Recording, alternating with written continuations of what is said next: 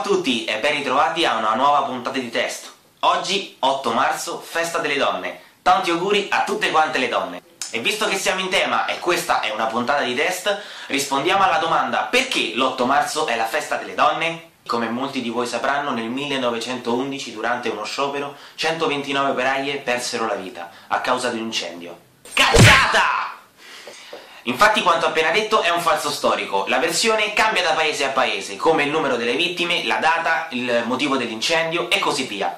Per chi volesse approfondire c'è un libro intitolato L'8 marzo che parla proprio dell'origine della festa della donna.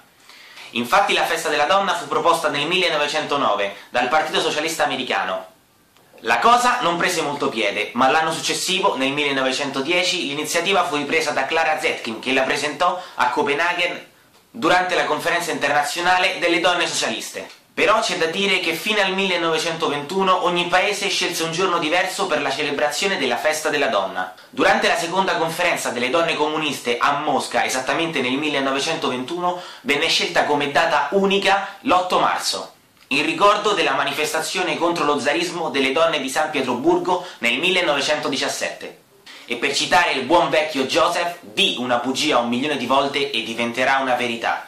Infatti l'iniziativa nei primi anni di vita non prese molto piede, quindi fu inventato questo falso storico per favorire la divulgazione e l'attecchimento dell'iniziativa, poiché ogni motivazione politica non aveva preso piede. E per concludere, prima di salutarvi, vi voglio lasciare con un'ultima curiosità. Come mai ci regalano le mimose?